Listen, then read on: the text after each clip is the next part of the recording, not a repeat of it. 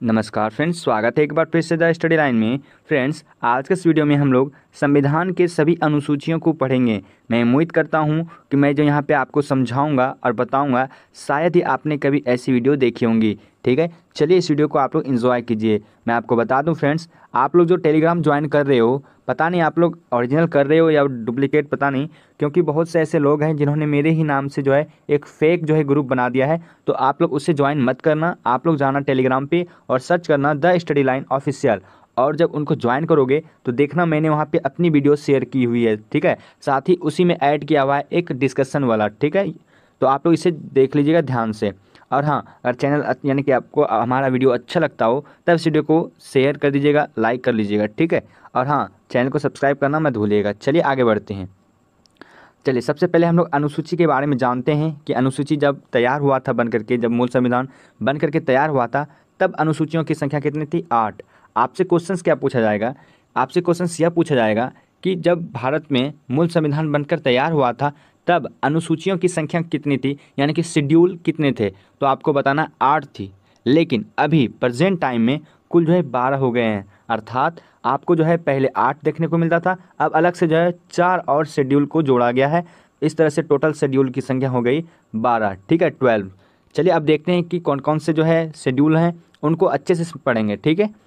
चलिए, सबसे पहले हम लोग समझते हैं प्रथम अनुसूची को, ठीक है? प्रथम अनुसूची में क्या बातें कही गई है? देखिए, जब भी कोई व्यक्ति या विदेश का आदमी हो, वो अगर सबसे पहले अनुसूची को पढ़ेगा तो सबसे पहले प्रथम अनुसूची को पढ़ेगा, ठीक है? और प्रथम अनुसूची में क्या बताया गया है? अपने देश का जो है, राज्य के बारे में बताया गया है, साथ ही केंद्र शासित प्रदेश के बारे में बताया गया है, ठीक है? वैसे भी कोई भी व्यक्ति हो, जब अनुसूची को पढ़ना चाहेगा तो सबसे पहले वो देश के बारे में जानना पसंद करेगा। इसलिए इस तरह से जो है, सबसे जो पहला अनुसूची है, वो राज्य और केंद्र शासित प्रदेश का उसमें उल्लेख किया गया है। आपको ये पता होना चाहिए, अभी वर्तमान में कुल 28 राज्य हैं। कितने राज्य हैं? 28 और केंद्र शासित प्रदेश प्रदेशों की संख्या जो है, कुल सॉरी, आठ है। कितनी है? आठ है। इसे आप लोग ध्यान में रखिएगा। राज्य की संख्या अट्ठाईस और केंद्र शासित प्रदेशों की संख्या आठ है, ठीक है? इसे जब कोई भी व्यक्ति पढ़े तो सबसे पहले उसे भारत के बारे में, फिर राज्य के बारे में, एवं फिर यूटी यानी कि केंद्र शासित प्रदेश के बारे में पता चलेगा, ठीक है? इसलिए प्रथम अनुसूची में क्या है? देश के बारे में, राज्य के बारे में, यानी कि केंद्र शासित प्रदेश के बारे में। ये सभी का उल्लेख है। आगे बढ़ते हैं, आगे है द्वितीय अनुसूची। इस अनुसूची में किसकी बातें कही गई है? तो वेतन के बारे में बताया गया है, साथ ही इसके भत्ते और पेंशन के बारे में बताया गया है। ठीक है? अब ज़ाहिर सी बात है, अगर वेतन के बारे में बताया गया है तो आम, जो आम लोग होते हैं, उनके तो वेतन के बारे में नहीं बताया होगा। सीधी सी बात है तो किसके बारे में बताया गया है? जो मंत्री लोग हैं, जैसे राष्ट्रपति, उपराष्ट्रपति, राज्यपाल, लोकसभा अध्यक्ष, इन सभी के जो वेतन होते हैं, जो पेंशन होते हैं, उनके बारे में बताई गई है, ठीक है? मैं आपको बता दूँ, राष्ट्रपति को सबसे ज़्यादा अभी वेतन मिलता है, लिखित रूप से पाँच लाख दिया जाता है। वहीं उपराष्ट्रपति की बात करें तो उनको चार लाख मिलता है राज्यसभा के सभापति होने के नाते।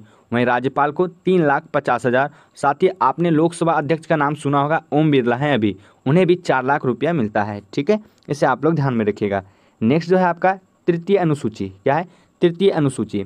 तो तृतीय अनुसूची में जो है पद ग्रहण करते समय, जो शपथ ग्रहण लेते हैं मंत्री लोग उनके बारे में बताया गया है। जैसे राष्ट्रपति, उपराष्ट्रपति, सुप्रीम कोर्ट के न्यायाधीश हों या हाई कोर्ट के न्यायाधीश हों ये सभी जो मंत्री होते हैं जो शपथ ग्रहण लेते हैं उनके बारे में बताया गया है। इस तरह से एक बार आप रिकॉल कीजिए एक बार रिमाइंड कीजिए कि सबसे प्रथम अनुसूची में क्या पढ़ा आपने? भारत के बारे में जाना। ठीक है? किसके बारे में? भारत के राज्य के बारे में केंद्र शासित प्रदेश के बारे में। फिर जब आप दूस, जो दूसरी अनुसूची थी उसमें जब आए आप तो उसके वेतन के बारे में पता चला कि भारत में जो है कौन ऐसे मंत्री हैं यानी कि कौन कौन से पद के लिए कितने वेतन दिए जाते हैं। फिर जब तीसरी अनुसूची में आए तो आपको पता चला कि जो शपथ ग्रहण ली जाती है, वो किस, कौन किसके सामने लेते हैं, कौन शपथ दिलाता है, ठीक है? इन सभी के बारे में हम लोगों ने देखा तृतीय अनुसूची में। आगे बढ़ते हैं, आगे है चौथी अनुसूची। फ्रेंड्स, आप लोग इस वीडियो को अंत तक एंजॉय कीजिएगा, क्योंकि आपको जो है इसमें बहुत सारी मैं जानकारी देने वाला हूँ। हो सकता है वीडियो थोड़ा लंबा हो जाए, लेकिन अगर आप आए हैं, आप स्टूडेंट हैं तो ज़रूर इस वीडियो को अंत तक देखिए। अब है चौथी अनुसूची। इसमें जो बातें कही गई है, राज्यसभा में प्रतिनिधित्व के बारे में बातें की गई है।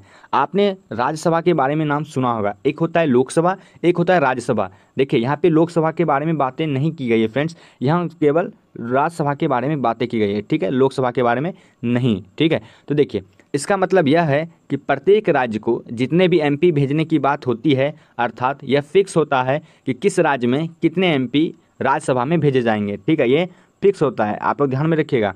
ये फिक्स होता है कि किस राज्य से कितने एमपी राज्यसभा में भेजे जाएँगे। ठीक है? इसे आप लोग ध्यान में रखिएगा। इसे जो है चौथी अनुसूची में रखा गया है। साथ ही बात करें, राज्यसभा के जो सभापति होते हैं, वो उपराष्ट्रपति होते हैं और प्रेजेंट टाइम में जो उपराष्ट्रपति हैं वह वेंकैया नायडू जी। ठीक है? चलिए, आगे बढ़ते हैं। आगे है पाँचवीं अनुसूची। पाँचवीं अनुसूची में किसकी बातें की गई है? अनुसूचित जाति और अनुसूचित जनजाति। यानी कि इसको हम लोग बोलते हैं एससी। और इसको हम लोग बोलते हैं एसटी ठीक है? यानी कि अनुसूचित जाति को एससी और अनुसूचित जनजाति को एस टी का फुल फॉर्म होता है शेड्यूल कार्ड्स और इनका जो होता है एसटी का शेड्यूल्ड ट्राइब्स ठीक है? शेड्यूल कास्ट और शेड्यूल्ड ट्राइब्स इन दोनों को आपको अंतर में रखना है, यानी कि ध्यान में रखना है। चलिए मैं आपको थोड़ी सी जानकारी देता हूँ क्या कि ये जो होता है अनुसूचित जाति और अनुसूचित जनजाति में अंतर क्या है, ठीक है? देखिए, होता क्या है, इसमें दलित लोग शामिल होते हैं, अर्थात जिन्हें पहले समाज में दबाया गया था। यानी कि पहले की बात है, जब समाज में इनको जो है दबाया गया था, अतः इनकी स्थिति को ठीक करने अथवा सुधारने के लिए जो है, इन्हें आरक्षण देने का प्रावधान किया गया है। इन्हें ही जो है एस कहते हैं, इन्हीं को जो है पाँचवीं अनुसूची में रखा गया है, ठीक है? एस आप लोग समझ गए? कौन होते हैं? जो दलित लोग होते हैं, अर्थात जो समाज में पिछड़ गए हैं, यानी कि उनको दबा दिया गया। इन्हें एस या अनुसूचित जाति कहते हैं। अब हम लोग समझते हैं, अनुसूचित जनजाति क्या होता है?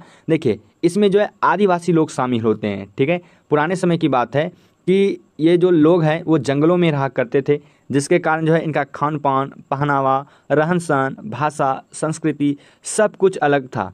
यानी कि आम लोगों के मुकाबले ये सब कुछ अलग था, जो हम लोग हैं, जैसे उनके मुकाबले जो है सब कुछ अलग था। फिर इनके भी विकास की बात उठी तो इनको भी मदद, यानी कि मदद करने के लिए आरक्षण का प्रावधान किया गया। तो इस तरह से एससी और एसटी को दोनों को पाँचवीं अनुसूची में रखा गया है। साथ ही जब हम लोग छठी अनुसूची के बारे में पढ़ेंगे तो उसमें एसटी से ही, किसके?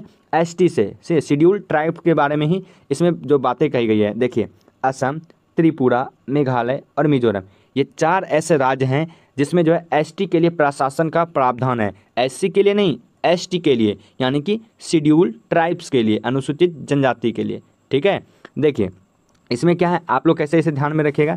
ध्यान में आपको याद रखना है, क्योंकि देखिए, यहाँ से क्या पूछा जाएगा आपको कि एसटी के लिए प्रशासन का प्रावधान किन राज्यों में है? तो आपको चार राज्य दिया गया है, उनमें से एक ऑप्शन में रहेगा, ठीक है? तो आपको याद कैसे रखना है? तो आपको याद रखना है ए टी एम और साथ में एक और एम जोड़ लेना, ठीक है? तो ए टी एम तो याद ही रहेगा, साथ में एक और एम जोड़ लेना, ठीक है? यानी कि असम, त्रिपुरा, मेघालय और मिजोरम। ठीक है? चलिए आगे बढ़ते हैं। आगे है सातवीं अनुसूची। सातवीं अनुसूची में किसकी बातें कही गई है? तो केंद्र और राज्य के बीच शक्ति के बंटवारे की बात कही गई है। देखिए, अगर शक्ति के बंटवारे की बात नहीं कही जाती तो क्या होता कि किसी भी डिसीज़न में केंद्र और राज्य में झगड़ा हो जाता, लड़ाई हो जाती। इसलिए सातवीं अनुसूची बहुत ही इंपॉर्टेंट है एग्ज़ाम की दृष्टिकोण से, क्योंकि यहाँ से कई बार किस, हर एक एग्ज़ाम में क्वेश्चन पूछे गए तो इसे आप लोग ध्यान से समझिए। तो केंद्र और राज्य के बीच जो है शक्ति का बंटवारा किया गया सातवीं अनुसूची में। इस तरह से जो है संघ सूची बनाया गया, राज्य सूची बनाया गया और समवर्ती सूची बनाया गया। आप लोगों को मैं इन तीनों चीज़ों को समझाता हूँ। आप लोग नहीं समझे होंगे, ये संघ सूची, राज्य सूची और समवर्ती सूची है क्या? और कैसे जो है केंद्र और राज्य के बीच शक्ति का बंटवारा किया गया चलिए आगे बढ़ते हैं। मैं आपके लिए यहाँ पे नोट्स लिख करके लाया हूँ थोड़ी सी उसके बाद मैं आपको बताता हूँ। देखिए, संघ सूची। संघ सूची मतलब केंद्र सरकार। राज्य सूची मतलब आप लोग जान रहे हैं, स्टेट जो गवर्नमेंट होते हैं, उनके बारे में, और जो समवर्ती सूची होते हैं, केंद्र सरकार और राज्य सरकार, दोनों मिलकर के इसमें काम करेंगे, समान भागीदारी, समान जो है अधिकार के साथ, ठीक है? देखिए, ये जो संघ सूची है फ्रेंड्स ये संघ सूची में केंद्र सरकार को ही केवल कानून बनाने का अधिकार है। इसमें राज्य सरकार दखल नहीं दे सकता संघ सूची के अंतर्गत, ठीक है? अच्छा इसमें कितने विषय हैं? तो ये पहले जो थे, वो संतानवे विषय थे, जिन पर केवल केंद्र जो है कानून बनाने का अधिकार था केंद्र को। लेकिन अभी प्रेजेंट टाइम में सौ विषय हैं। संघ सूची में कितने विषय हैं? सौ विषय हैं, और सौ विषय पर केवल केंद्र का जो है कानून बनाने का अधिकार है। इसमें राज्य का कोई अधिकार नहीं है, ठीक है?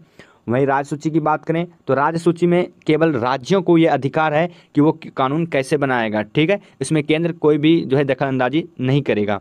देखिए इसमें पहले जो छियासठ विषय थे जिन पर राज्य सूची जो है यानी कि राज्य जो है राज्य सरकार इस पर जो है आ, काम करने वाली थी। लेकिन अब जो है इकसठ विषय रह गए यानी कि वर्तमान समय में राज्य सूची के अंतर्गत इकसठ विषयों का प्रावधान है। अब समवर्ती सूची की बात कर लेते हैं। ठीक है समवर्ती सूची वैसी सूची है जिसमें केंद्र सरकार और राज्य सरकार दोनों मिल करके जो है समान शक्ति के साथ जो है कानून बना सकती है जिसमें पहले थे सैंतालीस विषय अब रखा गया है बावन विषय। ठीक है बावन विषयों पर जो है अब राज्य सरकार साथ ही केंद्र सरकार दोनों मिलकर के काम करेंगे। चलिए अब हम इन इन, इन तीनों का एग्ज़ाम्पल समझते हैं। देखिए संघ सूची संघ सूची में मैंने आपको बताया सौ विषय आप आप आप ये आपको समझ में नहीं आया होगा कि सौ विषय है क्या। देखिए, ये सौ विषय विषय यानी कि कोई एक टॉपिक होता है, ठीक है? जैसे हो गया, मैं बताता हूँ। संघ सूची के सूची के अंतर्गत मैं बताता हूँ। जैसे रक्षा के मामले में, जो देश की रक्षा के बारे में है, वो जो इसमें जो डिसीज़न लेने का अधिकार है, वो केंद्र सरकार का है। विदेश मामलों में जो कानून यानी कि अधिकार है, यानी कि विदेश मामलों में जो बातें करने के अधिकार है, वो केंद्र को है। फिर जनगणना कराने का जो अधिकार है, वो केंद्र सरकार को है। मुद्रा में कोई भी कुछ चेंजमेंट करना हो तो वो भी केंद्र सरकार को है। नागरिकता हो गया, डाक हो गया, ये सभी जो है संघ सूची के अंतर्गत वर्णित है। यानी कि इसमें केवल केंद्र सरकार ही कानून बनाने का इनको अधिकार दिया गया है, ठीक है? देखिए, फिर आता है बात राज्य सूची के अंतर्गत। देखिए राज्य सूची के अंतर्गत इकसठ विषय का अभी प्रावधान है। इसमें जो है पंचायती राज व्यवस्था, पुलिस व्यवस्था, कृषि, सिंचाई, सड़क, ये सभी जो है राज्य सूची के अंतर्गत आता है। अर्थात, मैंने आपको बताया पुलिस व्यवस्था। देखिए, अब कोई भी स्टेट में आप रहते हो, जैसे आप बिहार में हो या राजस्थान में हो, यूपी में हो, कहीं भी, यानी कि किसी भी राज्य से आप बिलोंग करते हो तो उस राज्य में, मान के चलिए मैं बिहार से अगर बिलोंग करता हूँ तो बिहार में जो पुलिस कैसा होगा, कितना होगा और किस तरह से उसको प्रशिक्षण दिया जाएगा, ये सभी काम जो है राज्य के अंतर्गत आता है, वो केंद्र सरकार कोई भी इसमें हस्तक्षेप नहीं करेगा, ठीक है?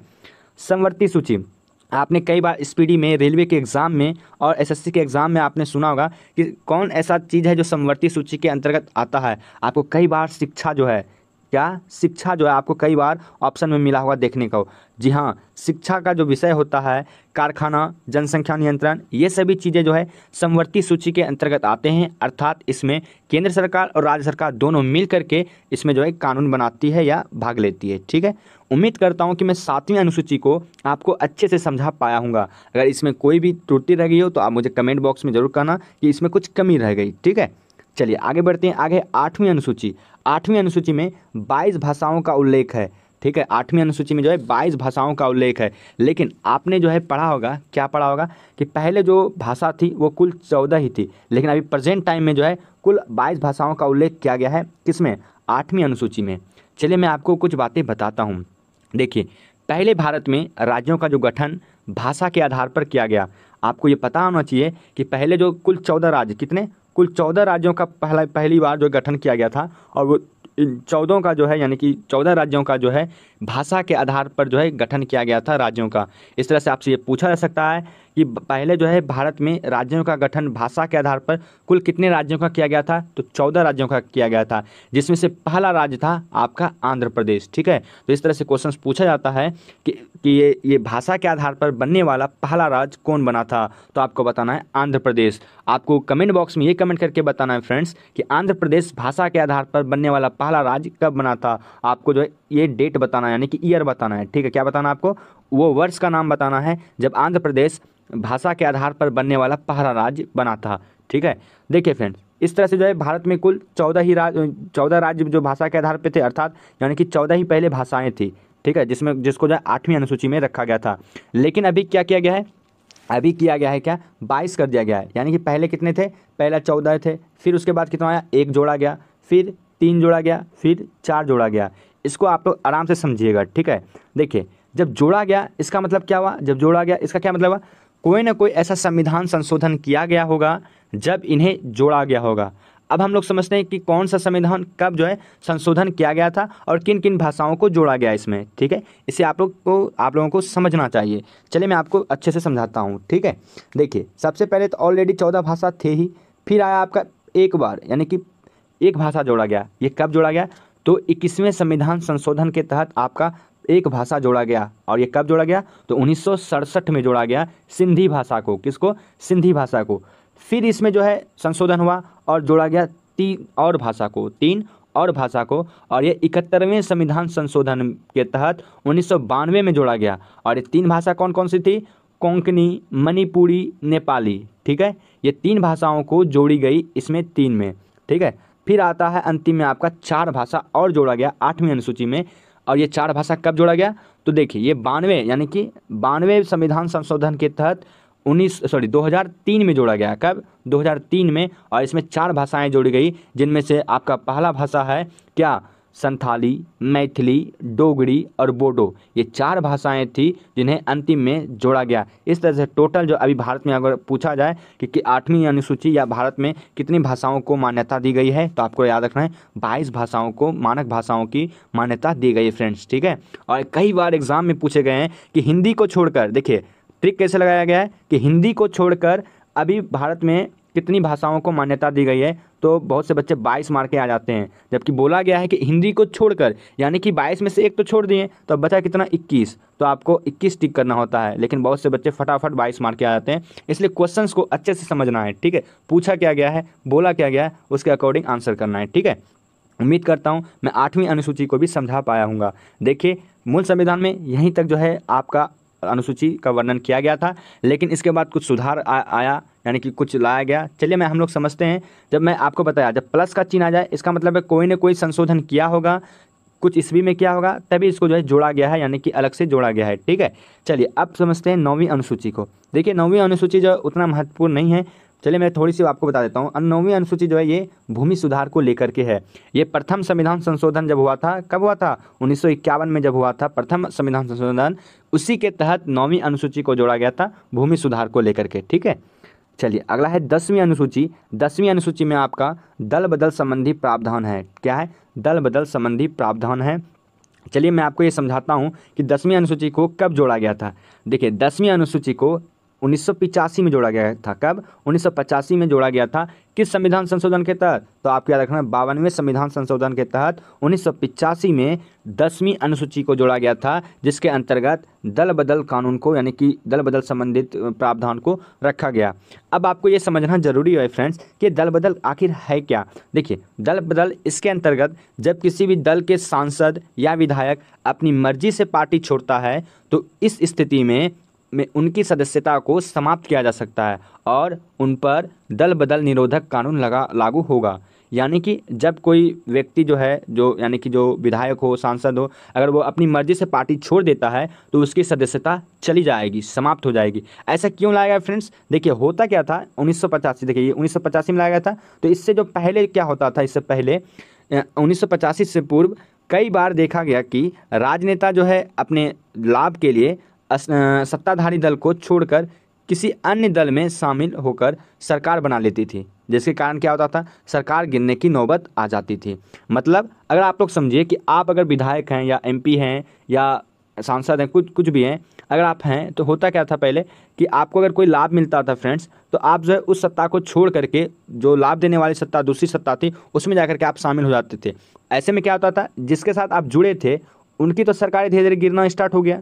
ठीक है? तो ऐसा जो है ना हो, इसलिए जो है दल बदल कानून को लाया गया और ये दसवीं अनुसूची में है। आपसे क्वेश्चन से पूछा जाएगा कि दल बदल कानून किस अनुसूची में है? तो दस दस यानी कि दल बदल, ठीक है? चलिए। ग्यारहवीं अनुसूची।